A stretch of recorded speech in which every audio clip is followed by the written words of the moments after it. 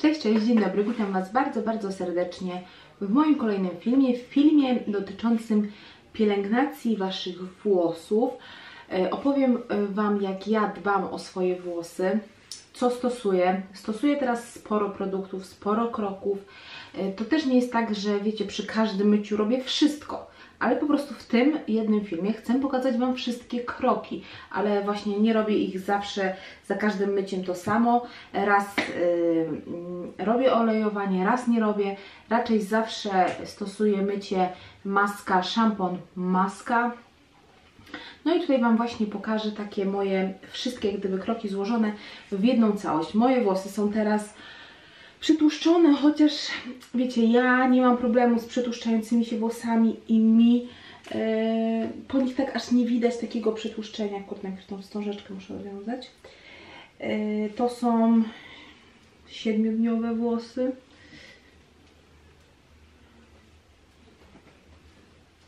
Czyli ściągamy gumkę.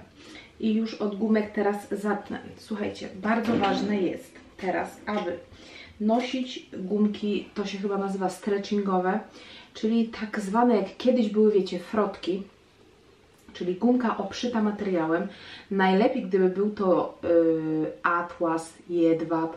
Tutaj jest akurat taka polska wiskoza, co też jest bardzo dobrym yy, materiałem, ale może to być, tak jak już mówiłam, taka bardziej atłasowa. Te są akurat z Pepko.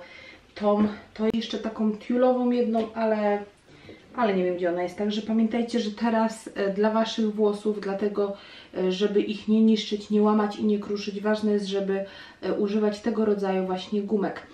Bardzo popularne stały się takie te gumki, takie właśnie z jedwabiu, nawet Sephora teraz wypuściła swoją kolekcję, one są bardzo oczywiście drogie, ale no ale jak ktoś chce, to jak najbardziej.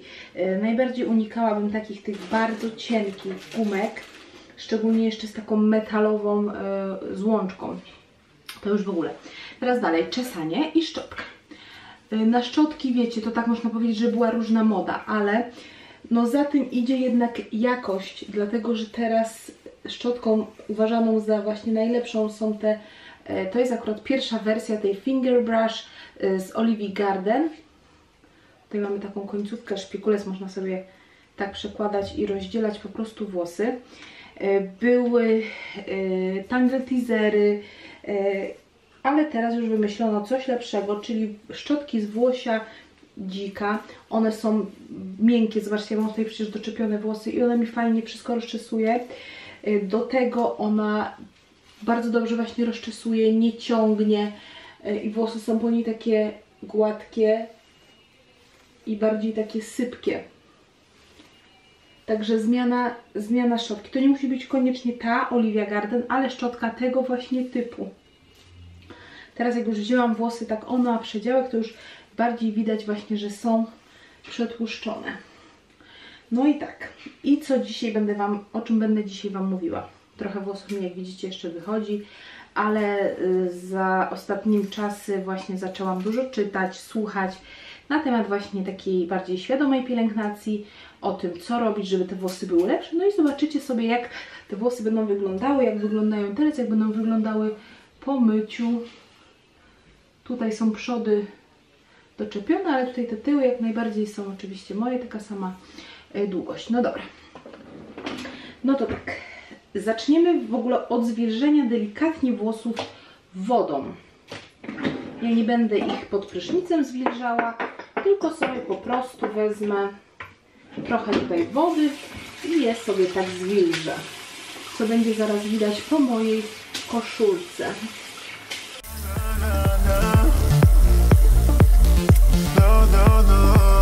Ja teraz na zwilżoną skórę głowy pierwsze co daję, to daję peeling. Peelingowanie skóry głowy jest tak samo ważne jak peelingowanie naszej skóry ciała, naszej mm, skóry na twarzy. I ja mam akurat tutaj ten e, z Labotiki Biovax, to jest trychologiczny peeling do skóry głowy. I on jest, słuchajcie, z takimi delikatnymi drobinkami, ale one jeszcze nie są tak przeszkadzające. Mogę Wam wypisać na dole w opisie peelingi. Kładę sobie na przedziałek i zmieniam tak przedziałki dalej.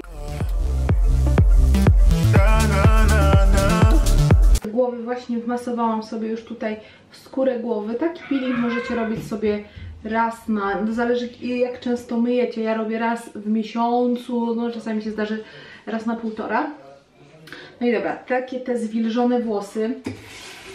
W sumie jak masowałam tą głowę, to one mi trochę zdążyły przesnąć.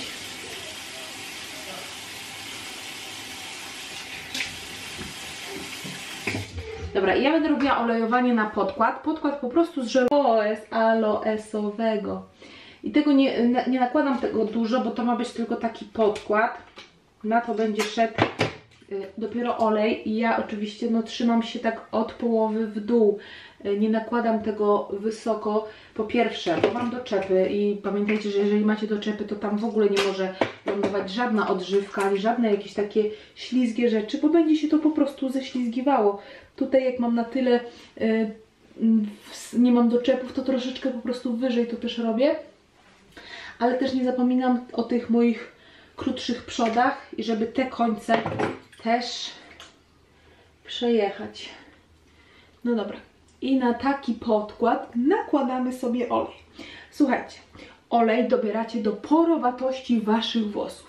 Test porowatości Waszych włosów możecie wpisać sobie coś takiego po prostu w Google, test porowatości włosów i tam macie różne strony, gdzie przeprowadzacie taki test porowatości.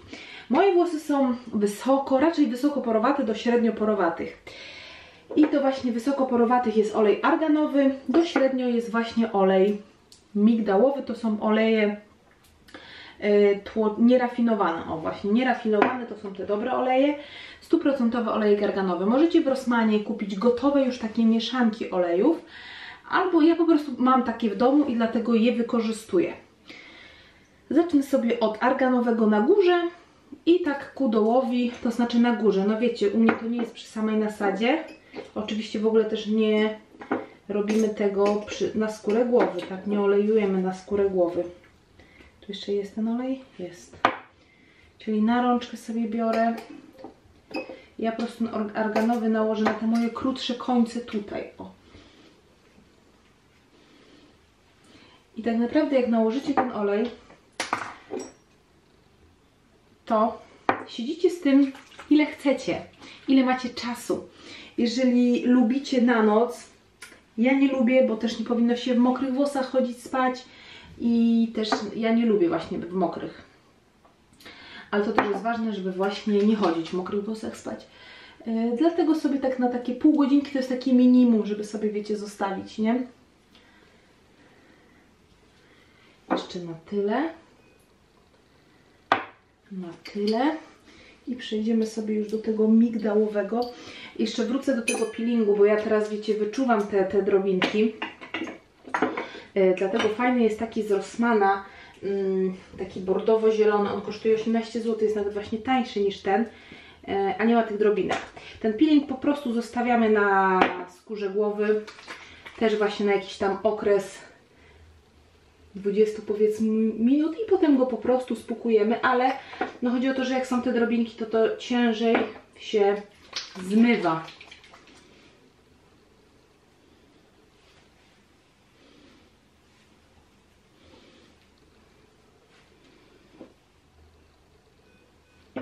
Jeżeli chodzi o olejowanie, no to już tutaj to u mnie jest mm, rzadko. Staram się, ale wiecie, nie chcę mi się. Zazwyczaj wolę nałożyć po prostu maskę przed myciem na wilgotne włosy i tyle. Kurde, i dotknęłam sobie tutaj bluzki, czego nie chciałam robić. No i dobra. I teraz mamy nałożony olej na głowę i to jeszcze nie jest wszystko. Ważna jest równowaga. Równowaga, równowaga pech w skrócie, czyli proteiny, emolienty i humektanty.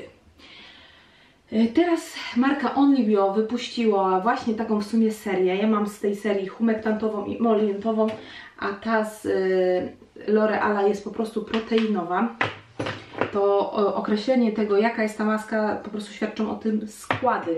Ja na składach się nie znam, wyszukuję, jeżeli chcę kupić taką maskę, to po prostu wyszukuję, jaka jest to maska, bo sama nie znam się za bardzo na składach. Ale tutaj macie ułatwioną sprawę, bo tu już jest podpisana po prostu humektantowa, emolientowa i w swojej ofercie mają też po prostu proteinową. Macie opisane wszystko, co dana maska powinna robić, jak ją stosować. Ja humektantową, właśnie tak jak myję sobie z reguły włosy, to przed szamponem nakładam humektantową, a po myciu nakładam albo proteinową, albo y, emolientową. Tydzień temu nakładałam tą z LSF proteinową, dlatego w tym tygodniu po umyciu nałożę tą po prostu emolientową. Teraz troszeczkę wyżej na całość nakładam te humektany. One to jest Only Bio, w ogóle kosmetyki tak ładnie pachną. I z tak przygotowanymi włosami będę sobie siedziała właśnie te pół godzinki i przyjdę potem myć głowę. Jeżeli chodzi też, słuchajcie, o mycie głowy, powiem już to tutaj teraz, to ja dlatego, że myję włosy, tak jak Wam mówiłam, raz w tygodniu, raz na 6 dni, ja potrzebuję mocnego wymycia tych włosów, tak? Dlatego używam szamponów tak zwanych rypaczy, które są, mocnymi, są mocne w składzie, nie są takie delikatne, naturalne, ale jeżeli Wy myjecie włosy e, co drugi dzień, bo codziennie nie powinno się nawet myć włosów, to jeszcze sobie tak tylko wezmę tutaj te od dołu włosy. No i dobra, i sobie to związuję. Jeżeli tak, już nie dokończyłam tej myśli, jeżeli myjecie włosy właśnie częściej, co drugi dzień, to, y, no to powinnyście używać do tego, w tym celu delikatniejszych y, szamponów. Ja używam szamponu też z tej serii, co zaraz zobaczycie. No dobra, wszystko jest przygotowane na włosach. Można teraz iść sobie coś obejrzeć, serial czy cokolwiek i wracamy za pół godzinki i myjemy włosy. Jestem, minęło więcej, bo na pewno 45-50 minut i teraz będę myła głowę. Do miski wlewam swój szampon, tu akurat mam też ten e, z tej samej serii co odżywka, czyli ten LSF Dream Long i po prostu ciepła woda. Chodzi o to, żeby rozpienić szampon w misce, a nie na głowie. Jeżeli rozpieniamy szampon na głowie, plączemy je, szarpiemy niepotrzebnie. E, wystarczy po prostu rozpienić go sobie w misce i oczywiście myjemy tylko samą głowę, skalp głowy. Nie myjemy włosów, nie trzemy ich na długości. One same umyją się już tą spływającą po prostu wodą z szamponem. Także idę do wanny i myję głowę. Po myciu, słuchajcie, tylko wyciskam nadmiar wody w ręcznik. Tworząc turban, nie ściskam tych włosów. Ja mam tutaj zwykły, standardowy ręcznik, ale jeżeli miałbyście ręcznik bawełniany yy, albo po prostu koszulkę bawełnianą, to też yy, ja po prostu tutaj ze sobą jej nie wzięłam, ale zawinęłabym włosy właśnie w taką koszulkę. O, ten pierwszy nadmiar wody odsączyłabym po prostu w ten ręcznik i zawinęła sobie turban też nie na długo, też na chwilę, tylko właśnie w koszulkę bawełnianą. Po y, umyciu włosów nałożyłam tą odżywkę emolientową, którą Wam pokazałam. Teraz dosłownie chwilę potrzymam ten turban, bo absolutnie nie wolno włosów trzymać tak e, właśnie zwiniętych i mokrych, żeby ich też nie uszkadzać. E, teraz zabezpieczę jeszcze swoje końce e, jakimś właśnie serum, to nie jest to serum, ale to też będę stosowała. Tutaj jest serum zabezpieczający końcówki, to jest też ten z Only Bio, przepięknie pachnie, super mi się sprawdza i to co robię codziennie i zrobię też teraz po myciu to jest wcierka. To jest wcierka pobudzająca, zdrowy wzrost włosów. Ja ją sobie codziennie wpsikuję, głównie tutaj na przody. Ja się skupiam tutaj u mnie na przodach i tutaj ją wpsikuję. E, I dzisiaj teraz po myciu też ją sobie właśnie wpsikam i zawsze jak ją wpsikam, to tak wiecie, paznokciami jeszcze tutaj ją wmasuję, trochę, że tak powiem, pobudzę, wystymuluję tą skórę głowy do porostu nowych włosów. Zobaczymy po czasie, jak czy będą jakieś w ogóle efekty i tak dalej, i tak dalej. No dobra, to ściągam turban teraz już.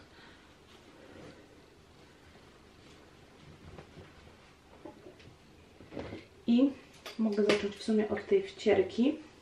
Jak skończę tą wcierkę, będę stosowała też jeszcze inne, żeby je sprawdzić. Wam, że mi tutaj na przykład te włosy o tu, to w ogóle mi nie rosną. Ja tutaj w ogóle nawet nie mam odrostów. Także zobaczymy, czy coś się ruszy po tych wcierkach.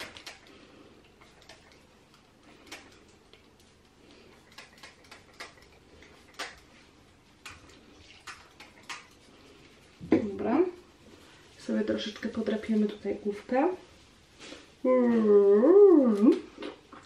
Dobra, i na koniec e, nałożę sobie właśnie to serum zabezpieczające końcówki, jakieś serum takie silikonowe. Ja bardzo lubię to, bo to po prostu pięknie pachnie. W ogóle te kosmetyki Onibio przepięknie pachną, a ja lubię to. Lubię jak sobie tą wcierkę popsikam codziennie wieczorem, to mam zawsze też pachnące te włosy.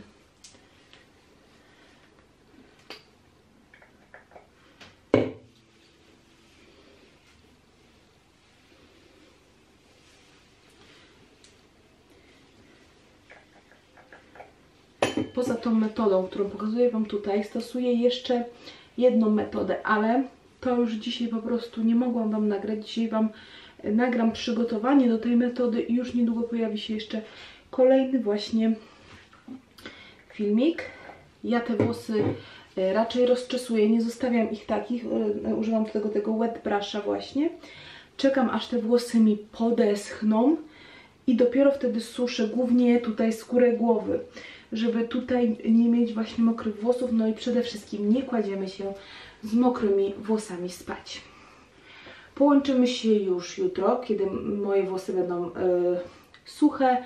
Y, jeszcze przed prostowaniem, jak pokażę Wam, jak wyglądają przed prostowaniem, a jak będą wyglądały właśnie po prostowaniu.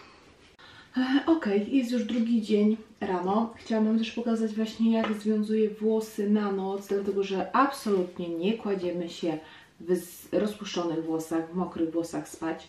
E, związuję je w bardzo, bardzo luźnego warkocza. To są tylko jakieś takie kilka takich przepleceń tych pasemek.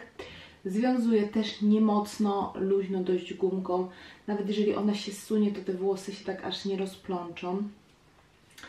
E, no i tak jak mówiłam, one wczoraj po prostu mi e, w dużej mierze same wyschły. E, ja tylko je po prostu tak już wiecie dosuszyłam na sam koniec, żeby były do końca suche.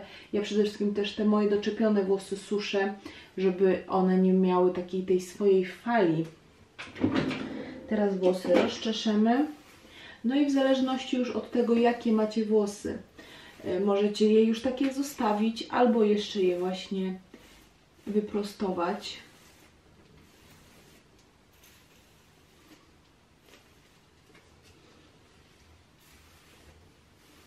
Ja oczywiście wyprostuję, bo taki, tak falowane włosy, one też, to, że tutaj jest takie jakieś teraz od tego warkocza jak gdyby, no to to też by się rozprostowało yy, z biegiem chodzenia w ciągu dnia.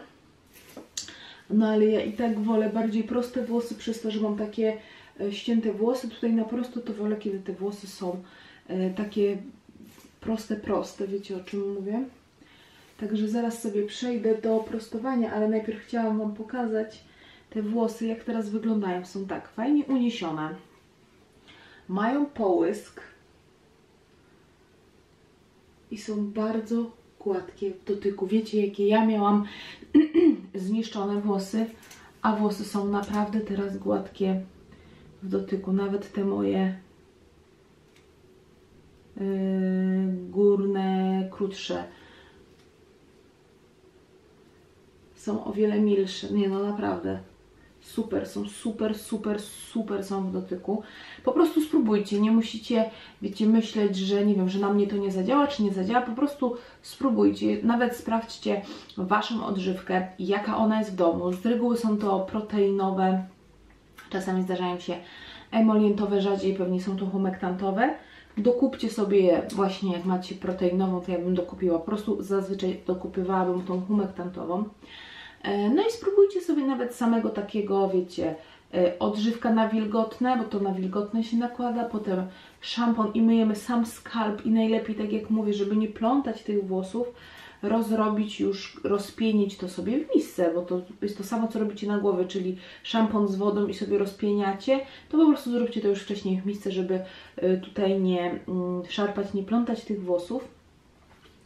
I zobaczycie już po pierwszym użyciu takiego mycia, różnice e, w Waszych włosach, naprawdę. A jeszcze właśnie jak sobie czasami zrobicie olejowanie, czasami zrobicie sobie też peeling, który też jak gdyby jak się skóra złuści, to też będą lepiej rosły Wam te włosy. Przygotuję dla Was jeszcze jeden film z jeszcze jedną taką pukanką, która też będzie przyspieszała porost. Także będziecie mogli zobaczyć jeszcze jedną moją metodę. E, No i polecam Wam też te wcierki. Ja teraz przejdę sobie do takiego wyprostowania włosów i widzimy się już na koniec. Jestem, słuchajcie, z wyprostowanymi włosami. Tutaj bardziej Wam pokazuję tutaj, bo tutaj są jak gdyby moje. Tutaj są te dopinki, te doczepy, ale i tak u góry myślę tutaj bardzo ładnie mieni się ta tafla. Tak wyglądają tutaj. Fajne, sprężyste. Ja pomimo, że już zabezpieczałam te końcówki mm, na mokre włosy, ale ja lubię bardzo ten olejek. No i on przepięknie pachnie. Tak jak już to wspominałam miliony, miliony razy, ale jeszcze właśnie teraz już dla wykończenia też go po prostu sobie nakładę i będzie gotowe. Jeżeli chodzi o takie produkty, szampony do włosów blond fioletowe, wiecie, że ja je czasami używam. E, używam je raz na miesiąc, teraz tak około. Niestety Fanule no, jest szamponem, który fajnie działa, ale niestety wysusza te włosy, także lepiej właśnie ograniczyć. Tylko ja, ja już tak naprawdę przed samym tydzień przed farbowaniem po prostu wtedy mm, samą górę sobie tutaj właśnie schładzam. Także tak prezentują się włosy. Y, Polecam, żebyście same spróbowały y, tych różnych metod, które ja Wam tutaj zaprezentowałam. Mm, Dajcie znać, y, jak Wy myjecie Wasze włosy, czy zwracacie uwagę właśnie na to, żeby zachować ten balans, mm, pech, żeby właśnie je zrównoważyć, bo czasami ja Wam może tutaj wypiszę, jak gdyby, e, jak zachowują się włosy, gdy potrzebują hubektantów, emolientów, protein, e, a czasami te włosy, kiedy na przykład używamy masek tylko proteinowych, można je przeproteinować po prostu i wtedy też włosy będą zachowywały się źle. Także wypiszę Wam, e, tutaj będziecie miały napisane właśnie jak może rozpoznać po prostu te włosy i to, czego te Wasze włosy potrzebują. E, Na dzisiaj to tyle. Pozdrawiam Was wszystkich bardzo, bardzo serdecznie. Trzymajcie się, no i do następnego już zobaczenia. Pa, pa. Zostaw kciuk do góry i komentarz. Pa, pa.